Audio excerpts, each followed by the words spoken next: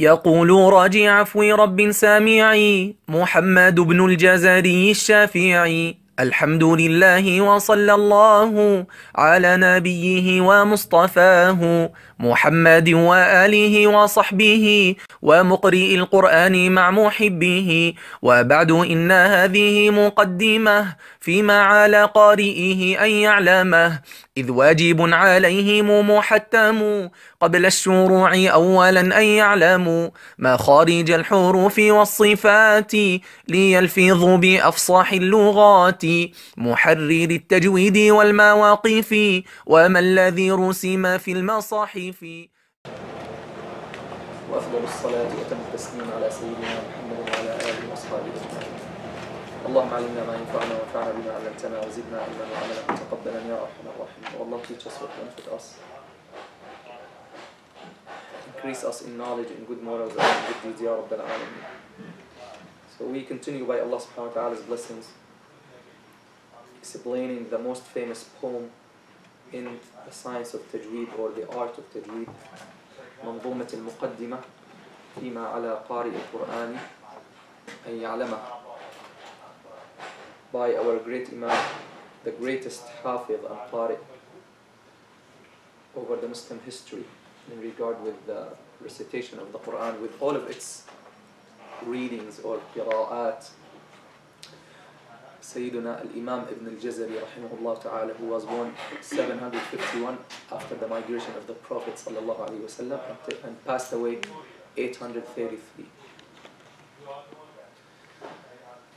منظومة المقدمة فيما يجب على قارئ القرآن أن يعلمه. Subhanallah from, from the title of the poem you can see he's saying منظومة المقدمة منظومة we said it means what? منظومة means what? a poem, okay, from Nazm. Nazm means composing or writing poetry. They say composing poetry, right? Manzuma is what? A poem, right? By, by now you have to know every word. This is the title of the poem, right? So Manzuma is what? Poem. Manzumat al-Muqaddima. Muqaddima means what? Literally, introduction, right? And some scholars, they say Muqaddama. Muqaddama because it is it is put in the in the front. Okay? Muqaddama, this is ism maf'ul. Muqaddama means, I'll give you an example. Between muqaddima and muqaddama, one of them is ism fa'il, which is the doer, and one, one of them is ism maf'ul, the thing that the action fell into or applied to. For example, muqaddim, if we say muqaddim, means the person who introduces another person. See, muqaddim. But if we say muqaddam, is the person who has been introduced. You understand? So, same thing, muqaddima is the thing that introduces you to something. This applies to the poem because it introduces you to the science or the art of tajweed.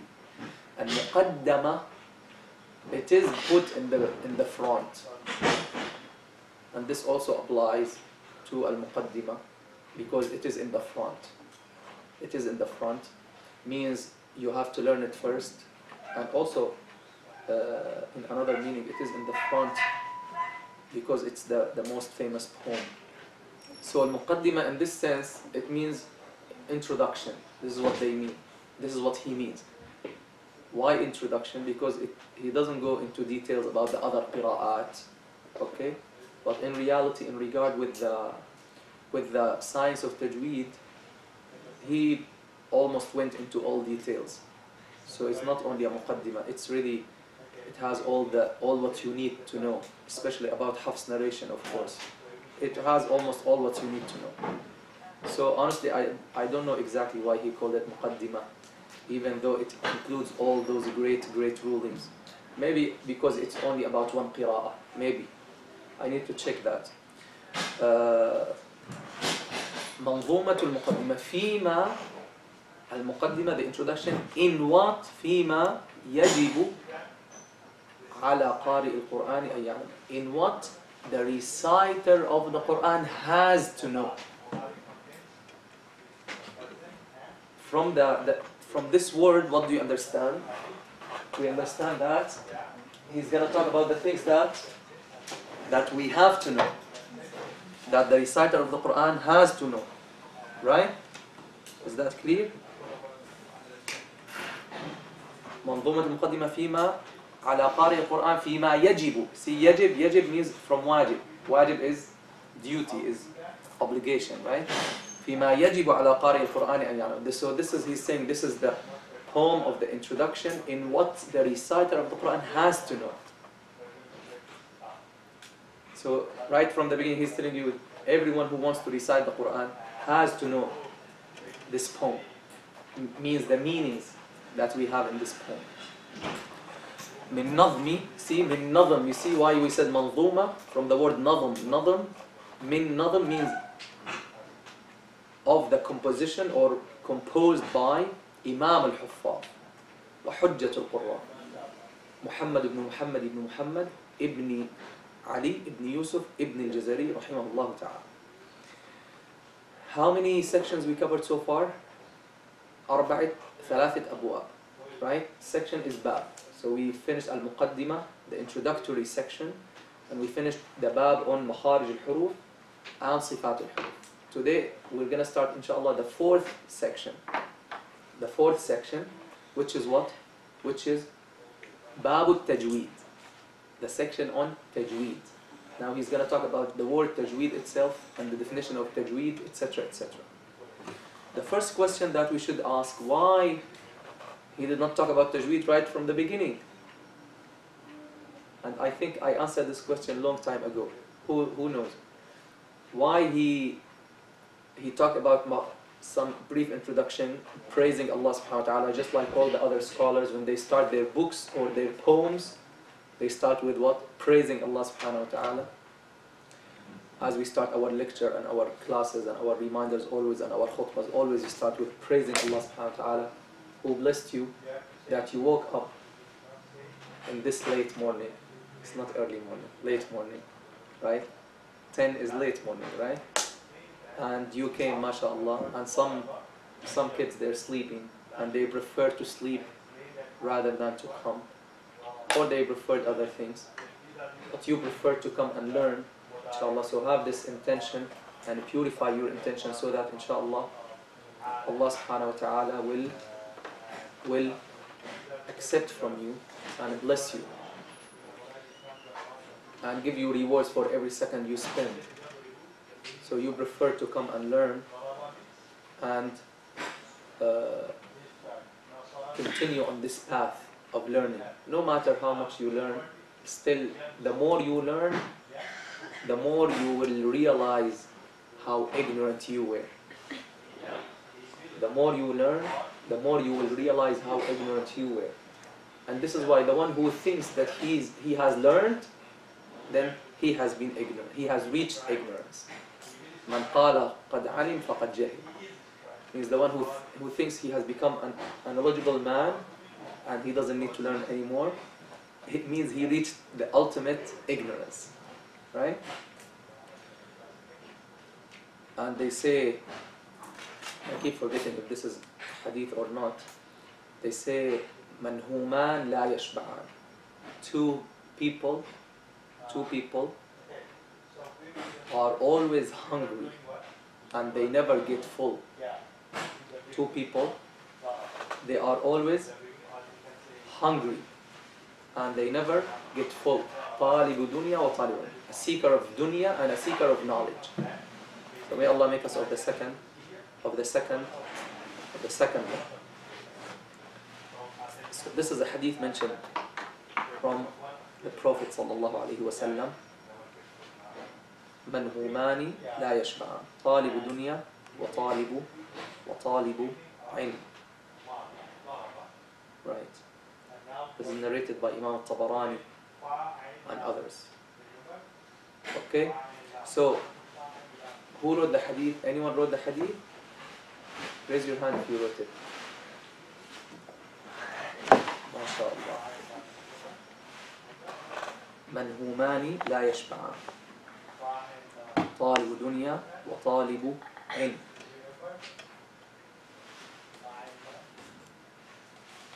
Got it? Okay. So some scholars they mention this is from Al- Al-Hasan al-Basri rahimahullah ta'ala from Al-Hasan al-Basri Al-Hasan al-Basri one of the greatest tabi'een one of the greatest tabi'een means students of the Sahaba radiyallahu anhum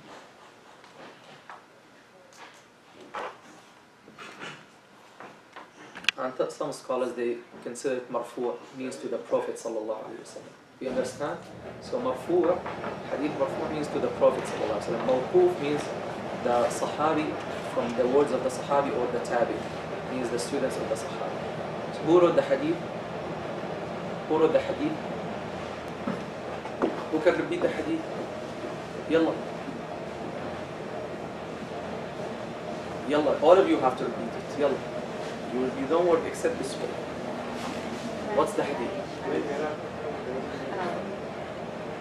in, in Arabic, in English, in English, in English. Look, I, I'm not like, I'm not like uh, of those who are obsessed that you have to say everything in Arabic. No, say in English and tell me the right meaning, and I'll be happy. يلا, what is it? ماشي. منهومان لا يشبعان. طالب دنيا وطالب آخرة. means two people, two people will never get full. Manhuma means they're always hungry for more. Okay? They will never get full. Who are they? A seeker of knowledge and a seeker of dunya, a seeker of the worldly things. Got it? منهومان لا يشبعان طالب دنيا وطالب طالب علم وطالب دنيا طالب علم comes first narrated by Imam al-Tabarani okay and others يلا It starts from there. Yalla ya sister.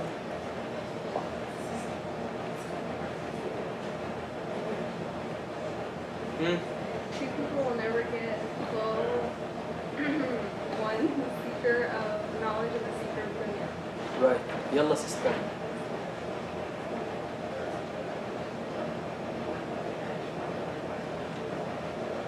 Yalla ya sister. Seeker of knowledge. seeker of knowledge and a seeker of dunya. Will never get full seeker of knowledge. Fa- You found? You did not find? None. Huh? There's none in this. In any of these boxes? I'm sure there is some. the shut. Again? In the first, in some of the boxes, there is some.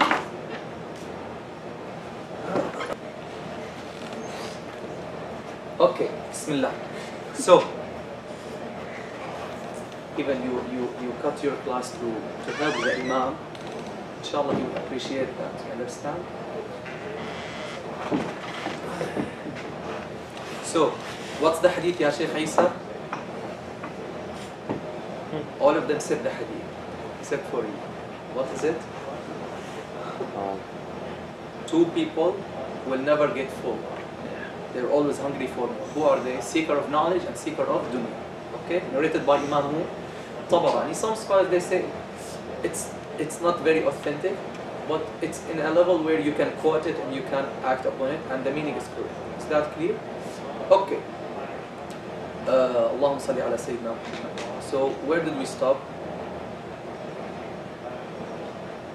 So we said why that was my question. Why Imam Ibn Jazari rahimahullah he talked about تجو- uh, مخارج الحروف and صفات الحروف And then now we saying section of Tajweed. Who remember? Who can remember? Who remembers? We said, yes, sisters, because makharij al-huruf and sifat al-huruf, they are required to speak the right Arabic, to speak correct Arabic, to speak the classical Arabic.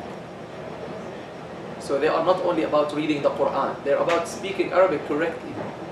So if you want to speak Arabic correctly, like the Prophet ﷺ or like the Arabs in his time, or in later times, you need to know makharij of the huruf and sifat of the huruf. Now he's starting with tajweed, which are the, the some rules that are extra, that are exclusive to reciting the Quran, to the recitation of the Quran. Just like the extra mad and the extra ghunna, right? And if you remember, I told you one time, what's the difference between tajweed and the correct Arabic reading? What's the difference between tajweed and the correct classical Arabic speech. Two things. Extra ghunna, extra mad. That's the only difference. Do you understand that? If now you look at a person who's speaking Arabic in the time of the Prophet ﷺ or in the time of the Umayyad or the Abbasids in those times, if you hear someone, someone speaking Arabic and someone reading the Quran, the difference between the two, the, the reading of the two will be what? That the one who's reading the Quran has extra ghunna in some places and extra mad in some places. The rest of the rules are the same. Is that clear? So that's question that you have to know. Okay? That we, we will add here and those who will make the slides, they have to add this. Okay? The difference between tajweed and the classical Arabic speech. Two things. Extra ghunna, extra mad. This is why Imam Ibn Jazari rahimahullah, he started with the basics. He started with the foundation, which is to speak the right Arabic. By learning makharij means pronouncing every letter from its right makhraj, and sifat, which is pronouncing every letter in the right way. Tamam? So he started the section of tajweed after that for this reason. And he says, Rahimahullah, Babu tajweed. Or he doesn't say Babu tajweed actually, I think uh, Sheikh Ayman made them into these sections. Uh, what does he say? والأخذ بالتجويد حتم لازم من لم يصحح القرآن آثم. يلا let's say this line. You can see it on the screen. Here you go. والأخذ بالتجويد حتم لازم من لم يصحح القرآن آثم. In this section we have seven lines.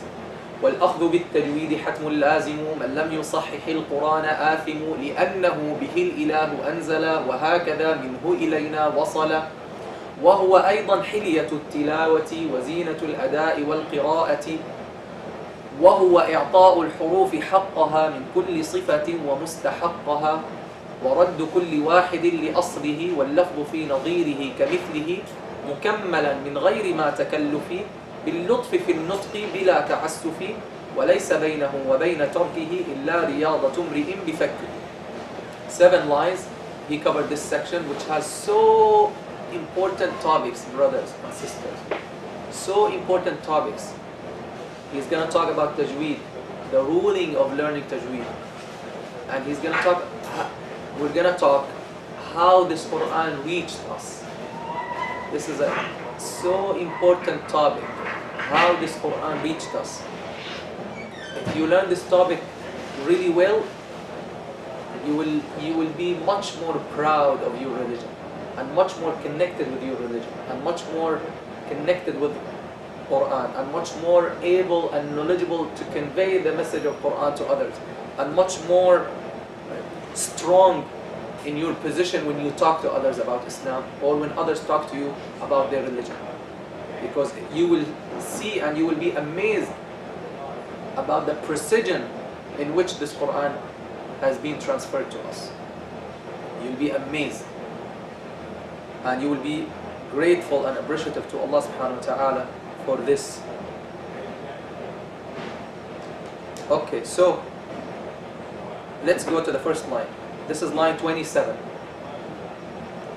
What is the first line? Let's say together. وَالْأَخْذُ بِالتَّجْوِيدِ حَتْمٌ لَازِمٌ والأخذ بالتجويد حسم لازم مَنْ لَمْ يُصَحِّحِ الْقُرْآنَ آثِمٌ أن لم يصحح القرآن آثم والأخذ بالتجويد حتم لازم والأخذ بالتجويد حسم لازم من لم يصحح القرآن آثم أن لم يصحح القرآن آثم This is why, let me tell you one more thing that just came to my mind before we move on.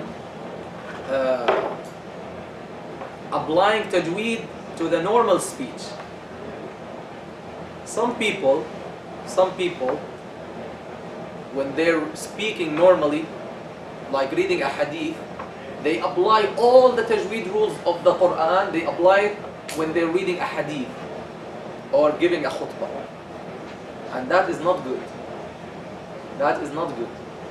And not nice. Subhanallah.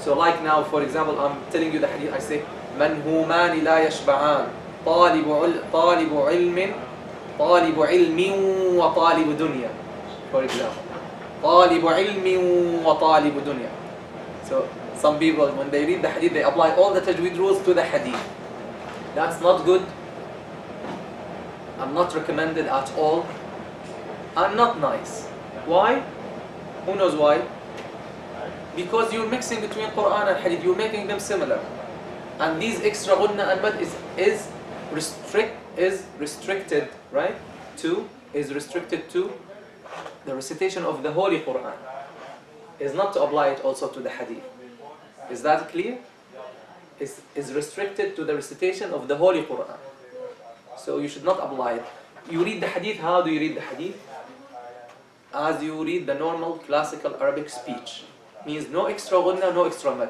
You don't say وَجَاءَ رَجُلٌ إِلَى رَسُولِ اللَّهِ صَلَّى اللَّهُ عَلَيْهِ وسلم right وقال له يا أيها النبي لا no right the Arabs never do that on the contrary the Arabs they make contractions as much as they can is that clear so والأخذ بالتجويد حتم لازم do you want to get something from here come on what do you want to get we're we're we need like 15 more minutes so you can ta- you can you can wait right because I know they start 11:30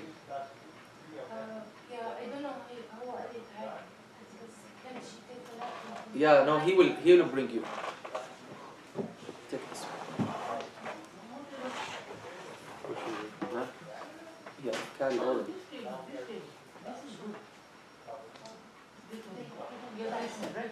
Yes, yes.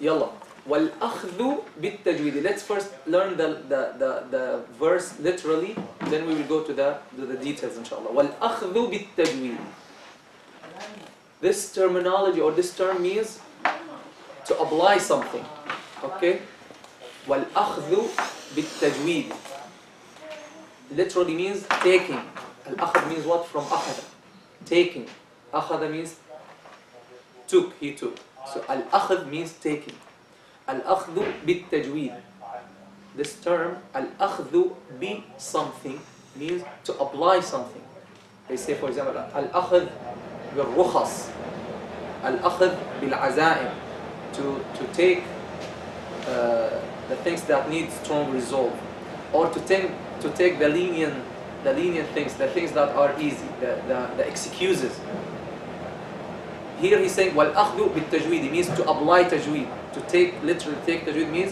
الأخذ بالتجويد means to apply tajweed what about it والأخذ بالتجويد what حتم حتم means necessary حتم this is أمر حتم necessary mandatory لازم necessary also this is لازم necessary حتم لازم والأمر والأخذ بالتجويد حتم لازم now, that's the first section.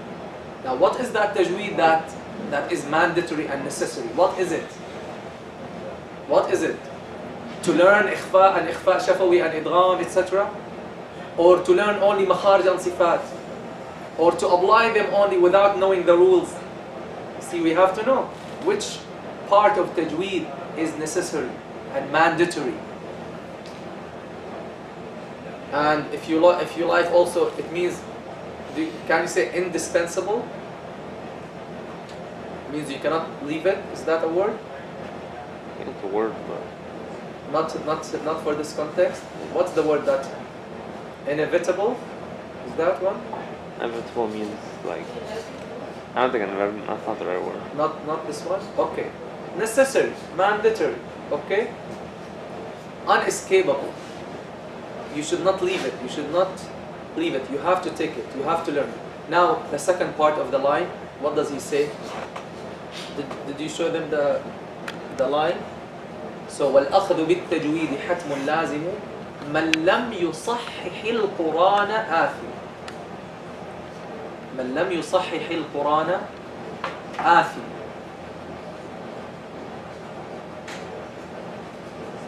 من لم means the one who doesn't من means the one who doesn't different from min min is a preposition means from means from but this is man so man for example ومن لم يؤمن ومن لم يؤمن بآيات ربه So man means what? The one who. Man means what? The one who. ومن لم the one who doesn't يصحح القرآن يصحح literally means corrects corrects for example someone comes to me and he says please صحح لي قراءتي correct my reading for me so يصحح means what to correct to correct the Quran it doesn't it doesn't work this way to say to correct the Quran means what يصحح القرآن means what to correct your recitation of the Quran is that clear? There are some words that are implied. So whoever does not correct what? The Quran, no, the Quran is already correct. The one who doesn't correct what? His recitation of the Quran is what? Athimu. Athimu means what? From ithim. Athim means what? Ithim means what?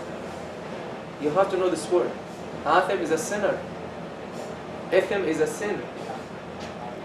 Athim is what? Athim is what? Sinner. sinner and ithm is is sin إن بعض الظن إثم اجتنبوا كثيرا من الظن all, all believers avoid much much suspicion because some suspicion is a sin you you you see someone doing something and you you uh, assume they're doing something you assume you saw someone enter to Applebee's for example that's a restaurant and bar right so you say, ah, astaghfirullah, he's getting. Maybe he doesn't even know. I didn't know. I entered, then I found that someone gave me gave me a gift card. Okay, so I entered. I didn't know. Then is it okay? You just buy some juice or some some uh, fries or whatever. It's okay. Just but don't sit. You're not allowed to sit where the alcohol is being consumed. Right? You, you're not allowed to sit in that place right? But you wonder how a Muslim gives a teacher Applebee gift card. I don't know. But anyway, this the point is what? The point is avoid much suspicion and always give a benefit of doubt to your brothers and sisters. Okay? And don't judge them and don't think, ah, you know. No. You might not know. You think you know, but you don't. Okay. So, من لم يصحح القرآن من لم يصحح القرآن آثم Is that clear? من لم يصحح القرآن آثم uh, القرآن القرآن Why he said القرآن? Who knows? He mentioned this many times before. many times. Why he said Al Qurana? Hmm? Is Al Qurana like Al-Qur'ana? Is it the same? Guys, of course it's the same, right? Of course it's the same. But why he said Al-Qur'ana here instead of Al-Qur'ana? For the rhythm, right? To keep the to keep the rhythm. So this is how he does in, in some lines to keep the rhythm and the rhyme, he does what? He uses some other dialects of Arabic. He uses some other dialects of Arabic in order to keep the rhythm of the line or the rhyme of the of the line. Is that clear? Okay. والأخذ بالتجويد حتم لازم من لم يصحح القرآن آثم. Uh, Ibn Kathir, rahimahullah, one of the great Qurra, the seven of the ten qira'at, he reads Al-Quran. Okay? He reads it Al-Quran. So this is one of the readings of the Quran. One of the readings of the Quran that the Prophet ﷺ taught to some of the Sahaba is what? That he says Al-Quran. Okay? Al-Quran. Why? The, so this is just uh, another dialect of saying Al-Quran. You can say Al-Quran. So he took that dialect because it fits the rhyme and he used it here. And that's the qira'ah of Ibn Kathir, not the qira'ah of Warsh as some people might think. Okay.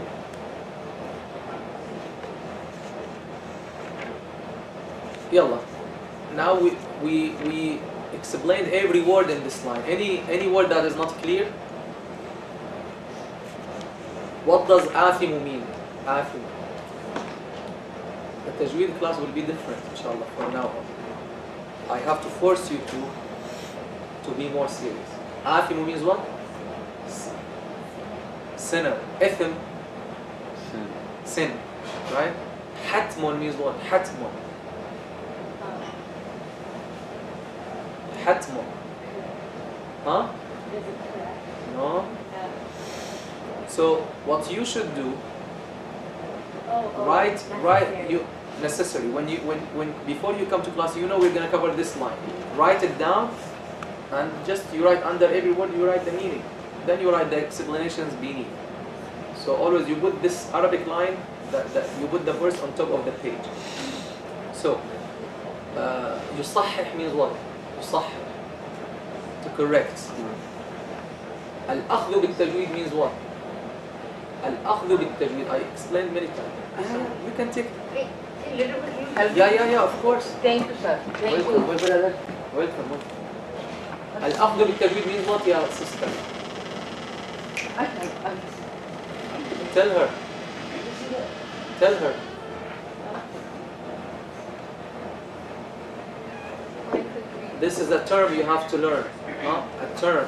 Al-akhdhu bi something.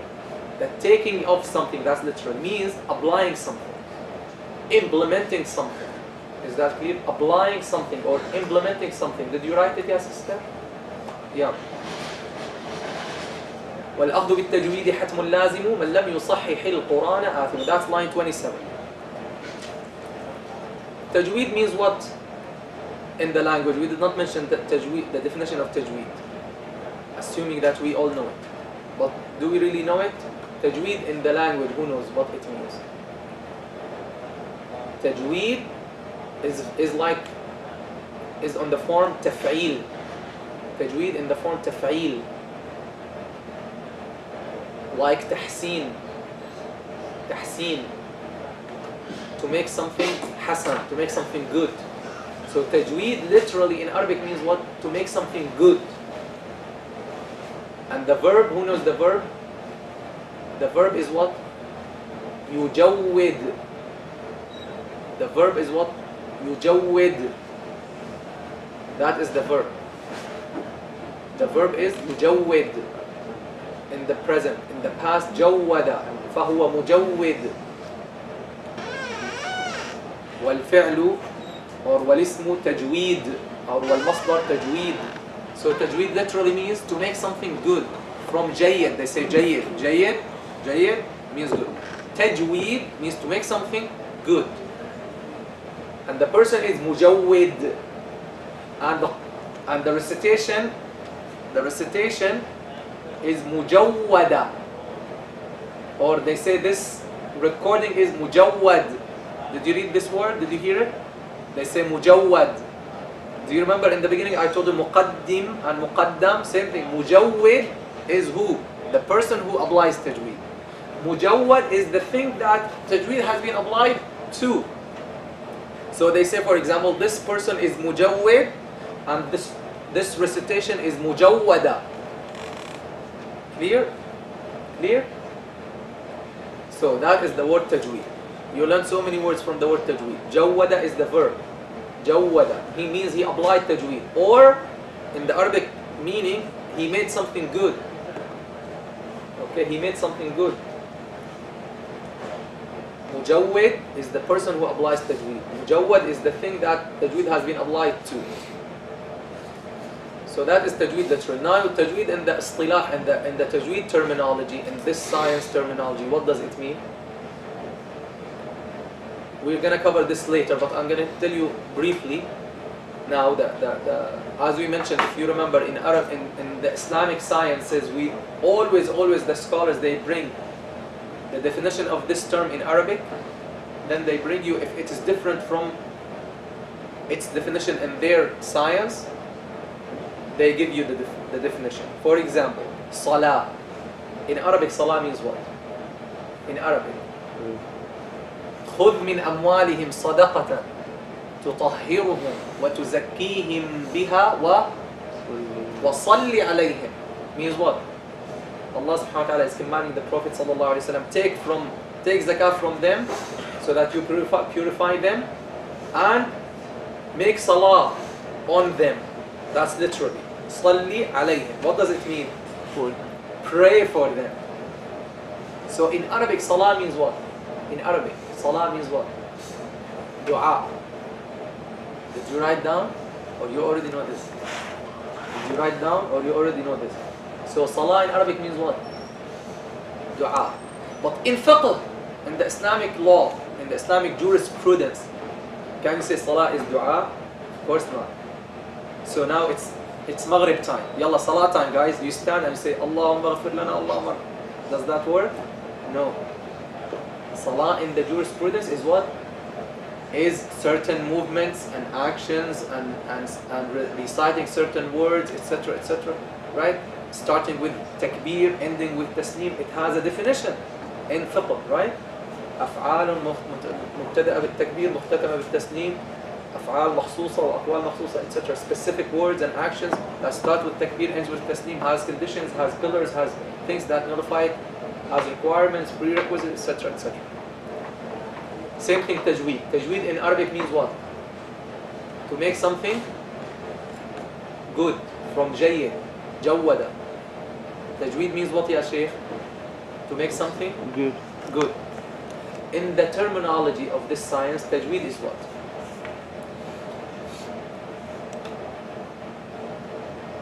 Sheikh Ayman says, and some scholars say, tajweed is to give the Arabic letters their rights in pronouncing them. We're gonna cover this later on. I don't want you to write it now because it will come later more in more detail. But he says to give the letters their right, the Arabic letters their right in regard with makharij and sifat and the other rulings that will be resulted from uh, having those letters next to each other. But I say, I say tajweed, brothers and sisters, tajweed is the correct recitation of the Quran, is the correct recitation of the Quran by by is the correct recitation of the Quran.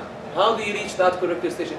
By giving the letters, the Arabic letters, their rights in regard with makharij and sifat, whether those sifat that are that are permanent with the letters or that are accidental and temporary to the letters, and applying the other rulings that will be that will result from having those letters next to each other or the resulting rulings. What does that include? That includes makharij, that includes sifat al-huruf, that includes uh, noon sakina rules, mim sakina rules, idgham naqis, all the tajweed rules. Did you get that? Did you get that? Tajweed is the correct recitation of the Quran. Is the correct recitation of the Quran. How do you apply that correct recitation? By applying the makharij and the sifat and all the resulting rulings, such as idgham and ikhfa and mad, etc. etc. That is what tajweed is. That is what tajweed is about. And this is why Imam Ibn Jazari, rahimahullah, he started with makharij on sifat, and now he's going to the other rulings. He's gonna, gonna come to the noon sakina rules, tanween rules, uh, mim sakina rules, idgham, mutamathil, idgham, uh, uh, all types of naqis and kamil, etc. etc.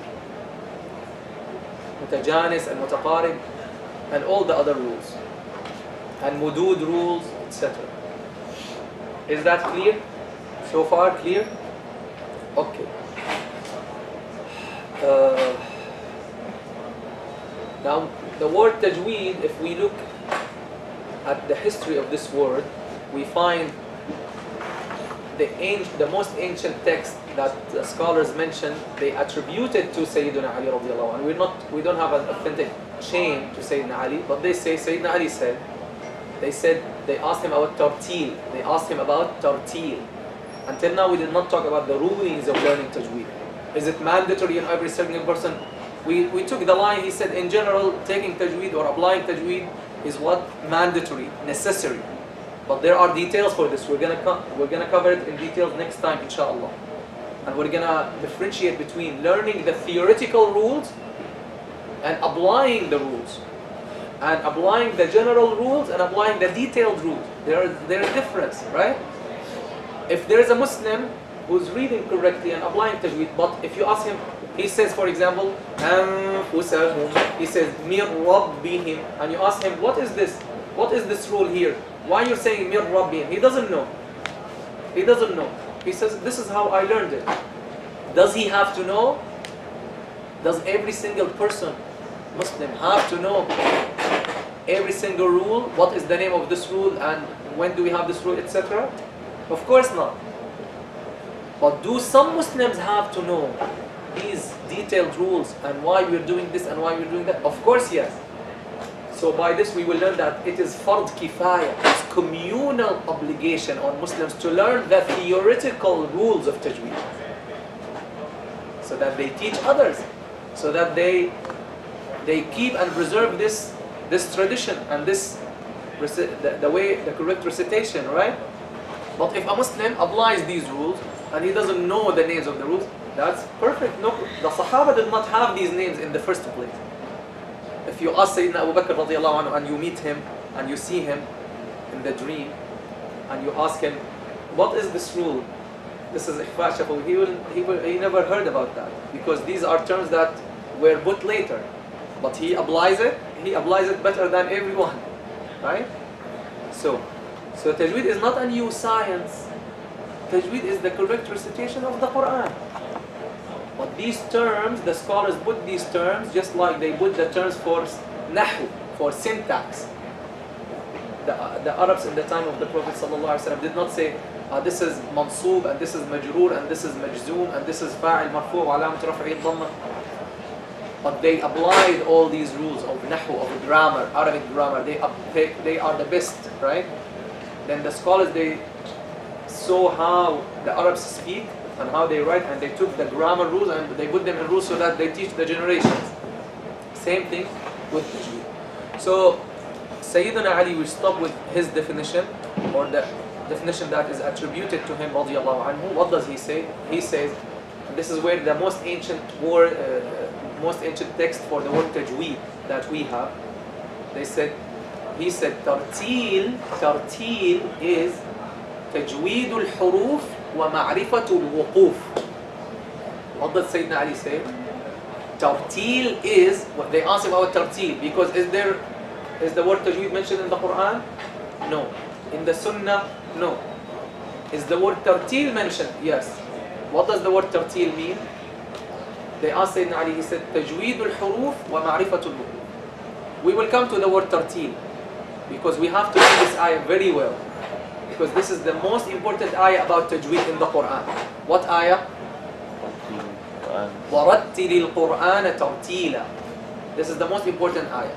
We're going to learn it and learn the meanings of this ayah in, in, in Arabic and in the terminology. And then we will, we will go from there. So tartil, according to Sayyidina Ali's, according to this narration about Sayyidina Ali, tajweed al-huruf. Huh? Means making the letters good. Tajweed al-huruf, making them good. How do you make them good? By pronouncing them from their right makhraj and with their right sifat. وَمَعْرِفَةُ الْوُقُوف And knowing what? Where to stop and where to start. How to stop and how to start. In one of the Taraweeh, one of the brothers he read, he read, he made a waqf that will make salah invalid. If I did not correct him, salah is invalid. Because he made such a waqf or such a starting from a place where it really gives a really wrong meaning. So it's not only about making the letters right, it's also how to stop and where to stop. And you notice when you're reading to me, I put arrows for you, put stop sign, right? Here's an arrow, here's a line, means you have to stop here, here is better to connect, here you have to connect, etc. So you have to focus on these signs and learn them. So that is, this definition by the way, it really, it really covers everything. تجويد الحروف ومعرفة الوقوف. Did you write this definition? What is it? ترتيل is what? تجويد الحروف ومعرفة الوقوف. صلى الله على سيدنا محمد وعلى آله وصحبه أجمعين والحمد لله رب العالمين. Any question about anything?